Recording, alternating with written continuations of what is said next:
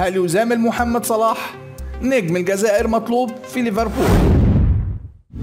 السلام عليكم واهلا ومرحبا بكم من جديد لكن في البداية خلونا ما ننساش نصلي على النبي عليه الصلاة والسلام وكمان نوحد الله. ولو مش مشترك في القناة يا ريت تشرفنا بالاشتراك وفعل جرس التنبيهات ليصلك جديد القناة. دخل النجم الجزائري إسماعيل بن نصر حسابات نادي ليفربول وفقا لما كشفت عنه تقارير إعلامية إيطالية. وتألق لاعب وسط الخضر بشكل لافت مع نادي ميلان طوال المواسم الأخيرة مما جعله محل إشادة كبيرة من قبل المتابعين.